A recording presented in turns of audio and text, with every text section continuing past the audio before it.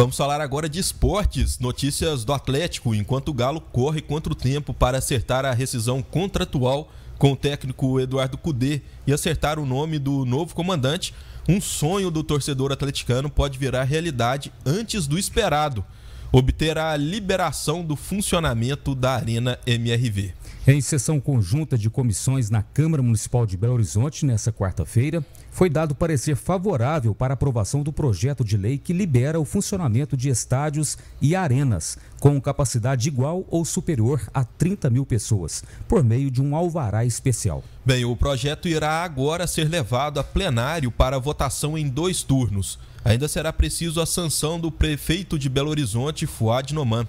O trâmite deverá ser finalizado até o fim de junho, possibilitando que o Estádio do Galo tem a liberação de funcionamento antes mesmo da conclusão das contrapartidas exigidas pela Prefeitura.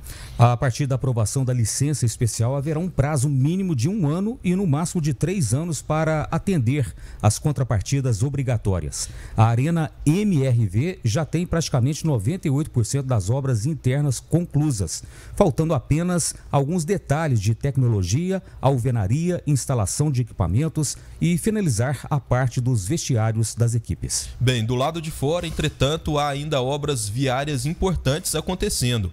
Elas são primordiais para que os 46 mil torcedores possam chegar ao estádio. Além das obras viárias, a Arena MRV só obteria licença de operação após cumprir cerca de 50 contrapartidas.